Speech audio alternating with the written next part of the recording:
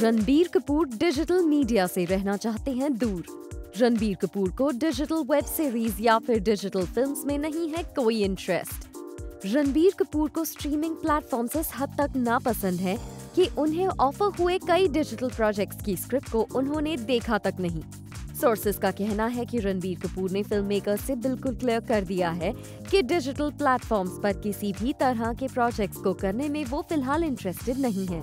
और यही वजह है कि उन्हें ऐसे ऑफर्स ना दिए जाएँ। यहाँ इंटरेस्टिंग बात यह है कि आलिया भट्ट ने भी रिसेंटली कुछ इसी तरह का स्टैंड लिया था।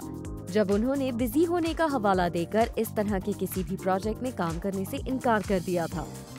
According to reports Alia Bhatt ने ये भले ही नहीं कहा था कि उन्हें डिजिटल प्रोजेक्ट्स पर काम नहीं करना, लेकिन उन्होंने कहा था कुछ सालों तक के लिए उनके पास इन प्रोजेक्ट्स के लिए डेट्स नहीं है।